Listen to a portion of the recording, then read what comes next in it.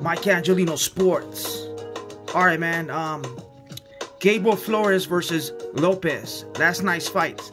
Oh man, Gabe Flores was the top prospect for top rank, and um, a kid from uh, Stockton, California, up north, Northern California, and um, yeah, man, he got a beatdown last night, man. All right, so I have uh, two things that stood out uh, a day before the fight. Uh, Gabe Flores had a fight. Um, he had an interview with. Uh, there's a YouTube channel called Fight Hype, and when they were interviewing, yeah, he looked a little dry, and he he was he he sounded sick, like he had uh, uh, mucus in it. He sounded a little sick, and and and I was like, what? And then um, Fight Hype was interviewing, and, and they asked him, and they're like, oh man, they're gonna ask. They asked him, and they asked him, hey man, you sound a little, you sound a little sick. You you okay, chap? And then he was like, nah, man, I'm good. But it, he still had the uh, like stuffy nose. And I was like, oh man, this guy had COVID or has COVID or had COVID or something, man. And um, so it, it felt it, it, felt a little weird. And then um during the interview they asked him, "Hey, um man, I, am surprised you, you weighed in at 130 today." I'm like, "What? Isn't he a 130 pound fighter?"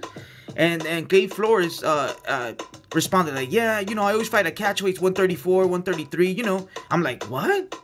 That I didn't know that." I'm like, "Oh man, he looks a little dry and he looks a little sick. Like, is." Oh man, maybe he's not. He couldn't make the weight, or he's he can't make the weight. How is he gonna perform in the fight? I'm like, oh man. So yeah, so the kid was cocky during the weigh-in. Um, yeah, he he he was he was gonna fight. Uh, there's a uh, he fought a, a Mexican fighter from a Mexican national, right from um, Mexicali. And during the weigh-in, yeah, I'm gonna knock you out. The, the, kid's a little cocky. I'm like, oh man.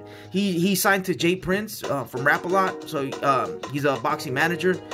And um, so he's a little cocky. Um, um, he Andre Ward visited him at, uh in his camp, so yeah, he's getting a little fame, and he and maybe that was a little bit too much. So during the weigh-in, yeah, I'm gonna knock you out. He was telling the other guy and put the the gun sign on um in his face. So I'm like, oh man, this kid's a little cocky. He's good though, but we'll see. So the fight started. It says jump. The the the the fighter Lopez uh, put pressure on him, and boom, boom, he was landing shots. Boom, overhand rights. I'm like, hey man, what, what? And, and all right, so that's the early rounds, and boom, he was hitting him with that overhand right. I'm like, hey man, put your hand up. And even Tim Bradley in the announcer, like, hey, put your left hand up. And he, and you know, every all these fighters always get hit with that overhand right when you're trying to do the Floyd Mayweather defense. Berto got knocked out, got dropped because he was trying to do the, the Floyd Mayweather defense uh, I, I believe versus Karass.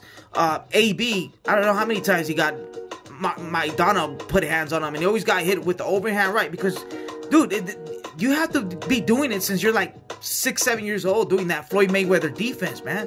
Mayweather was born uh, with that defense when they took him out of his mom's uh, uh, stomach, whatever. Uh, he came out with the Floyd Mayweather defense, his hands and everything. He had to, so you can't just start doing it and and yeah, so he was doing that and he was getting caught caught um he was going to the so the the Mexican uh, fighter uh, Lopez was putting pressure on him, uh, changing levels, faking down, going up, overhand rights, body shots, investing to the body. And the kid was like a one-trick pony. He was doing the same moves, just trying to get him with that jab, check hook. The jab, right, check hook. The whole fight, and his dad was saying, hey man, stand your ground. Put pressure on him tripled up the jab, and he wasn't listening, man. It, it, it felt like he was off, or he never, or he never faced a competition like this. Um, yeah, man. You when you're fighting fighters from third world, man, you have to be ready, especially fighters from, uh, from Mexico, man. Um, Max Kellerman once said that if, if you fight with a fighter uh, with a taxi driver in, in Mexico, particularly in Tijuana, best believe, best believe that you're gonna get into a scrap.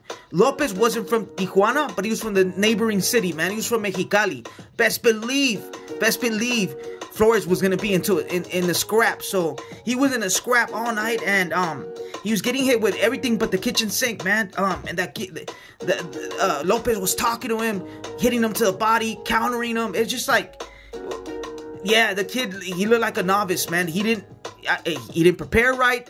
Bad habits in the gym. He got too too cocky.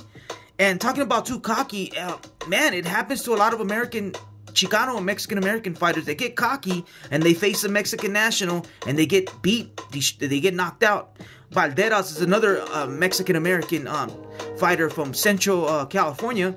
oh, he was talking about that. Oh yeah, that I'm the future. Hey, I'm better than Canelo because Canelo doesn't know English. I'm like, I'm more marketable. I'm like, dude, come on, man.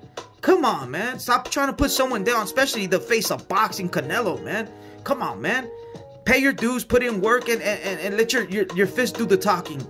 So, this would happen to the kid, and I would rather see him get knocked out than get a whooping from for, for 10 rounds. He The accumulation of fights, a, a, a punches uh, hurt a fighter more than getting knocked out cold. You know what I'm saying? So, yeah, man, the it, the dad was trying to stop the fight. He, uh, but uh, Gabe Flores, no, you better not stop the fight. So the the dad was was facing a hard decision. He wanted to be loyal to his son, but he's a trainer, so yeah, that's the, one of the reasons uh, father and son's uh, combination doesn't work. But there's combinations that do work. But yeah, man, he. Uh, I don't know, man. This that that's tough, especially if you're uh, uh, in boxing, especially if you're a Mexican fighter, Chicano fighter. The ultimate sin in boxing is is quitting.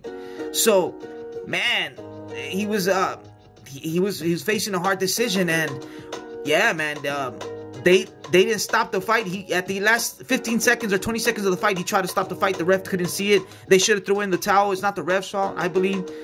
Um, and yeah, he got he got hit, man, with power, a lot of power shots, overhand rights body shots. He got hit a lot, man, and and um, we'll see how the kid reacts, man, and uh, we'll see his next fight.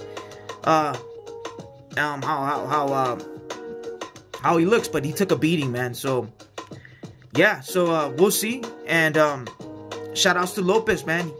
He uh showed up and showed out. So much credit to him, and we'll see how Flores uh comes back, man. I hope he comes back. I like the kid, but he got humbled. So yeah. So um yeah, man, that's all I got. Mike Angelino Sports. I'm gone.